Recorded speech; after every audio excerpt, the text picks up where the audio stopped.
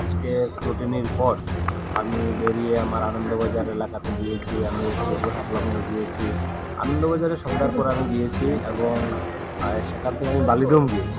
বালিডোম গিয়ে সেখানে কিছু আমার পরিচিত আছে আমি দৌড় করেছি।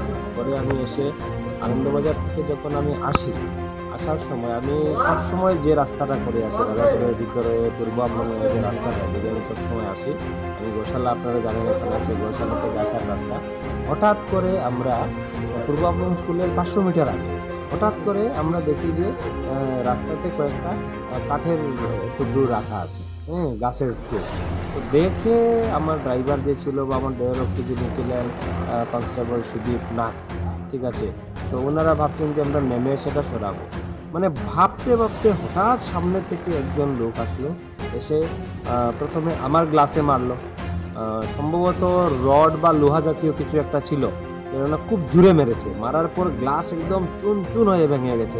তারপর হ্যাঁ একবার আমার সাইডের গ্লাসে মারলো মারার পর আবার এরকম মারলো।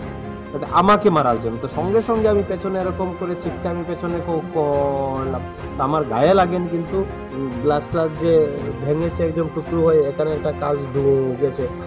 তারপর সঙ্গে সঙ্গে আমার পেছনে যিনি আমার দেহরক্ষী আছেন, উনার উপরে মারলো। উনার গ্লাসে মারলো। উনারও হাতে ব্যথা পেয়েছেন এখানে। এখানে কেটেছেও। এখন আমি, আমরা যাব একটু হসপিটালে গিয়ে ওনার হাতে প্রচণ্ড ব্যথা করছে, সেটা দেখাবো। মানে নামতে নামতে নিমিষের মধ্যে। কতজন আছে? সামনে একজনই ছিল ঠিক আছে? যে এসে আঘাত করেছে। পেছনে আমাদের আরেকটা গাড়ি ছিল। আর এই দুটা গাড়ির মধ্যে আমাদের প্রায় মনে করুন আপনি তিরিশ মিটারের মতো গ্যাপ ছিল। গ্যাপ থাকার কারণে ওরা নেমেছে নেমে আবার উঠে গেছে। পেছনের গাড়িতে যারা ছিল সেরা গেছে। এরা কিন্তু অ্যাটাক করেনি। পেছনের গাড়ির আলো থাকাতে এরা সঙ্গে সঙ্গে আবার উঠে পালিয়ে গেছে। আপনাকে যে অ্যাটাক করেছিল কতজন লোক আছে? একজন লোক অ্যাটাক করেছে। কিন্তু পেছনের গাড়িতে ওরা দেখেছে আরও লোক ছিল। মানে ওর লোকে ছিল আপনাদের লোক বেশি দেখে চলে গেছে। হ্যাঁ।